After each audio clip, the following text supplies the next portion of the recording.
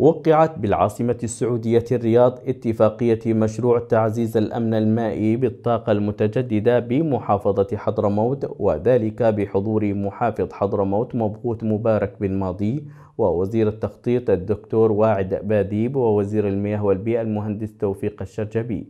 والمشرف العام على البرنامج السعودي لتنمية وإعمار اليمن السفير محمد آل جابر. وتأتي الاتفاقية بمساهمة ثنائية من البرنامج السعودي لتنمية وإعمار اليمن ومؤسسة صلة للتنمية يستفيد منها نحو نصف مليون مستفيد بشكل مباشر. وأكثر من مليون وسبعمائة ألف مستفيد في ساحل ووادي حضرموت بشكل غير مباشر. وأعرب محافظ حضرموت عن شكره للتدخلات التنموية التي يقودها الأشقاء في المملكة العربية السعودية عبر البرنامج السعودي لتنمية وإعمار اليمن.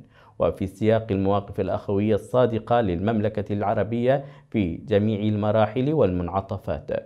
مثنيا على تدخلات البرنامج السعودي في محافظة حضرموت في جوانب تعزيز البنية التحتية ودعم القطاعات الحيوية المرتبطة بالمواطنين. هذا ويهدف المشروع لتعزيز الأمن المائي في حضرموت إلى تعزيز مصادر المياه وتزويدها بالطاقة الشمسية في تسع مديريات في ساحل ووادي حضرموت.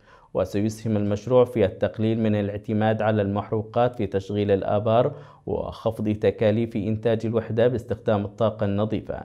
كما سيعمل المشروع على بناء قدرات العاملين في الحقول على استخدام وتشغيل منظومة الطاقة الشمسية.